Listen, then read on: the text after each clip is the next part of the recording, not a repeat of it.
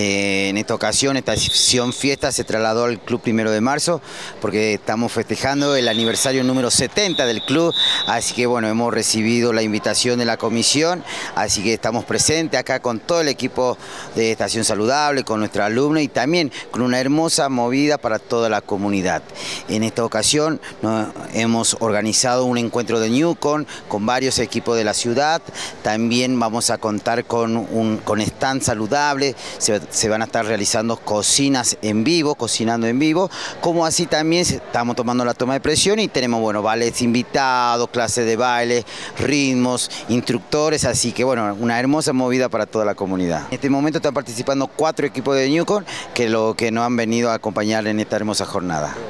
Bueno, este año nosotros somos una comisión nuevita, hace poco que asumimos y justo nos toca en esta oportunidad festejar los 70 años del, barrio, del centro vecinal y de nuestro club, primero de marzo, que así era como, como había nacido, ¿no? que tiene una tradición muy larga en básquet, principalmente en básquet masculino y femenino, que este, había quedado como interrumpida. Esperamos, eh, o sea, es el anhelo de esta nueva comisión este, poder eh, renovar esa, este, esa actividad.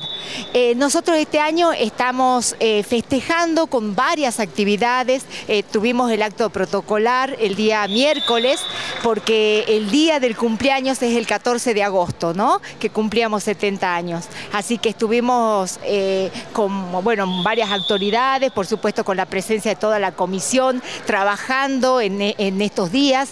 Eh, nos hicimos un, programa bastante largo este, y bueno, y hoy la estación fiesta es una de las, de las actividades como más, eh, más importantes. ¿Por qué? Porque tiene que ver con toda esta movida saludable y la invitación a toda la gente de la comunidad. Mañana está previsto una feria de emprendedores que son toda la gente que pertenece al barrio o a otros sectores para que nosotros podamos eh, eh, tener acá dentro del, centro vecinal distintas ferias de emprendimientos, de microemprendimientos que la gente está eh, por ahí necesitando y hay que apoyar.